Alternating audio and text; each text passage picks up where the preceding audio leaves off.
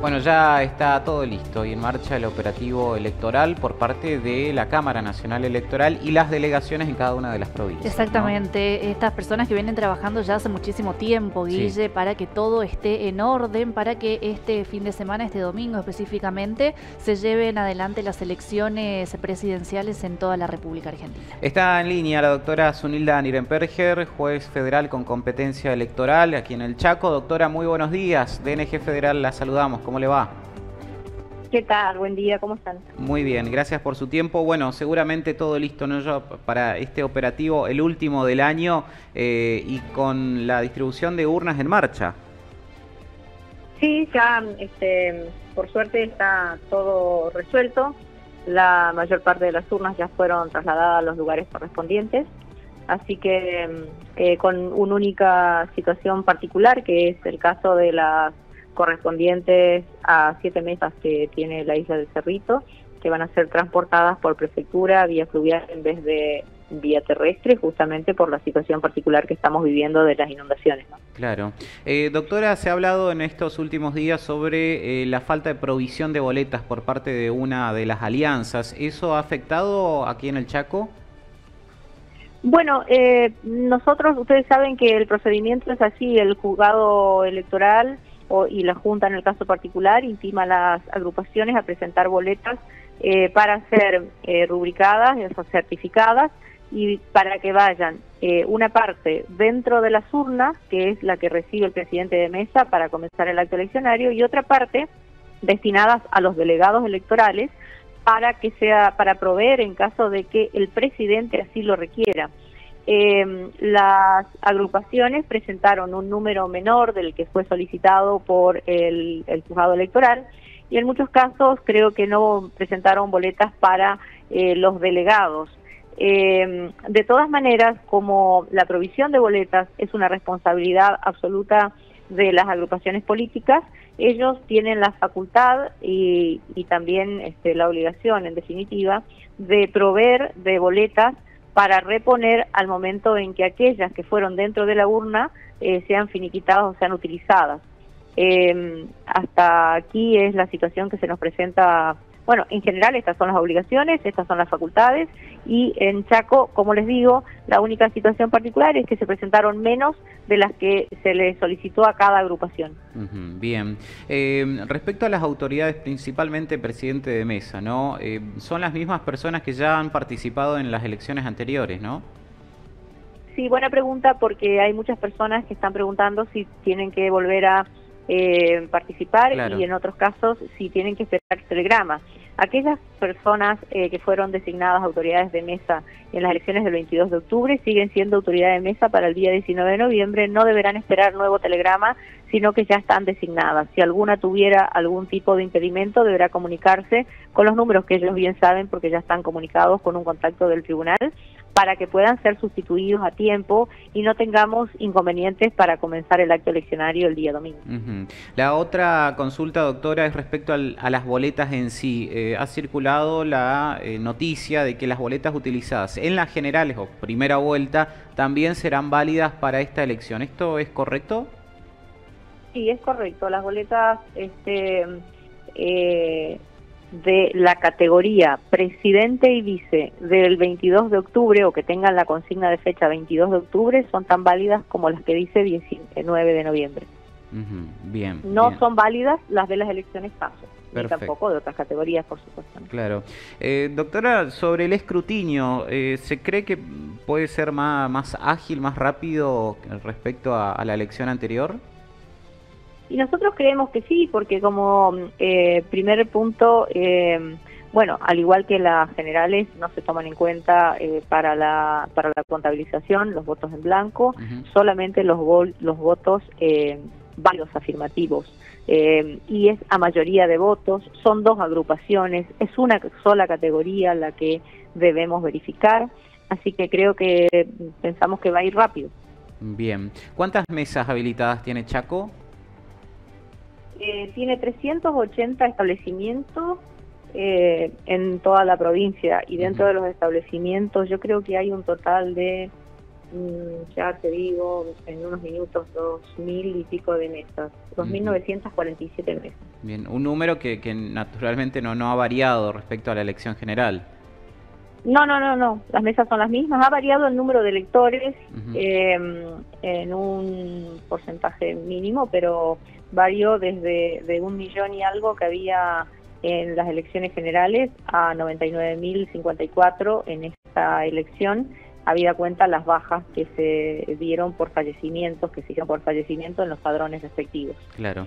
La última, doctora, agradeciendo su tiempo. Eh, se ha eh, hablado y mucho de, o, sembrado, ¿no? Esta, el fantasma del fraude en esta elección. Eh, ¿Hay algún una especial atención que, que hayan este, bajado desde la Cámara Nacional Electoral y qué, cuál es su opinión respecto a esto? Eh, bueno, mire, eh, siempre adelanto desde ya, em, eh, primero que yo soy parte de la Junta, por lo tanto cualquier situación que se presente deberá ser resuelta por la Junta Nacional Electoral y en caso de que sea un delito lo resolverá este, la justicia electoral, ¿no? Ese, si es que sea presentada una denuncia respectiva. Más allá de esto, em, respecto a, al, bueno, hubo distintas, este, distintos rumores, algunos respecto de el, despliegue y repliegue de urnas y la posibilidad de poder eh, modificar el contenido de las urnas eh, durante eh, este trayecto. yo lo que tengo para informar es lo que está establecido, el procedimiento establecido en el Código Electoral, que es que el correo argentino retira las urnas y el comando electoral las custodia hasta el lugar del establecimiento, eh, se le entrega a la autoridad de mesa, esto es entregado por el correo y no por la autoridad policial o, de la fuerza de seguridad, mejor dicho, eh, y al regreso también estas urnas son directamente conducidas desde el establecimiento hasta nuestro depósito de la Justicia Nacional Electoral y las trae correo argentino con la custodia de las fuerzas eh, nacionales que conforman el comando electoral que está eh, liderado por el ejército argentino. Eh, nosotros notificamos a las agrupaciones políticas que ellos pueden también seguir este itinerario que va desde el establecimiento y que llega hasta el lugar de, definitivo del repliegue de las urnas que es nuestro depósito, donde allí también quedan eh, personal que va a custodiar. Es muy difícil que pueda existir algún tipo de eh, modificación. Eh, primero el contenido, porque está por un lado el correo y por otro lado el comando electoral, ¿no? En su conjunto. No hay una sola personalidad que actúa o un solo actor que se ocupa de el repliegue de las urnas. Pero además, cada fiscal de mesa, como también el presidente de mesa, se queda con una copia del certificado definitivo, que es el que se transmite al centro de cómputos, para luego poder ser este, cotejado al momento final. Y ese certificado tiene la firma de los dos fiscales con el presidente de mesa. No puede ser diferente eh, el que se tenga al momento del escrutinio eh, con estos que tienen eh, los actores de la mesa, ¿no? Que es el presidente y los fiscales. Y además este, se va a transmitir, también los delegados nos van a transmitir copia de ese certificado eh, en forma inmediata, como para que nosotros también tengamos esa, esa constancia, ¿no es cierto? Que siempre la tenemos, obviamente, para poder tener el certificado previo a su salida hacia el centro de cómputos en Buenos Aires. Por eso digo que existe prácticamente eh, nula posibilidad de que puedan ser eh, violadas las urnas o cambiado el resultado, mejor dicho. No, no nula posibilidad de que sean violadas, pero casi nula posibilidad de que sean cambiados los resultados por tantas constancias que tienen cada uno de los actores de este de este juego político. Claro, claro. Y por la multiplicidad de, intervinientes, ¿no? Que dan fe también de, los de, de contralor, ¿no? De la, está bien. Bueno, doctora, muchísimas gracias por, por su tiempo y, el mayor de los éxitos a todo el equipo de, la justicia electoral aquí en ya la última elección del año. Es ¿eh? muy amable. Sí, muchísimas gracias a ustedes también por informar y por estar presente. Y bueno, también que tengamos un gran día democrático y toda la población concurra a las urnas el día domingo y que se desarrolle todo con tranquilidad. Esperemos que así sea. Que tenga buen día. La doctora Sunilda Nirenperger, juez federal con competencia electoral, quien está a cargo junto con el comando ¿no? electoral de esta elección nacional que va a llevar a el próximo presidente a ser electo, ¿no? el próximo presidente de la República Argentina.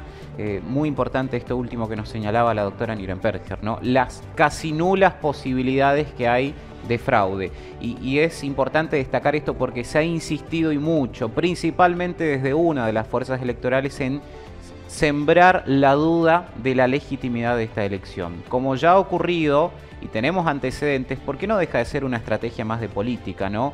Ha ocurrido en Brasil, ha ocurrido en Estados Unidos, por ejemplo, donde después resulta perdedor uno de los candidatos y allí hay conflictos porque desconocen la legitimidad de la elección y dicen que hubo fraude. Eh, el sistema electoral argentino, con un montón de cosas por corregir, sigue siendo uno de los más eh, seguros y la historia democrática que tiene este país lo ratifica. Así es que los fiscales a controlar, los votantes a votar y el domingo por la noche aquellos que ganan a celebrar y aquellos que pierden a aceptar la derrota.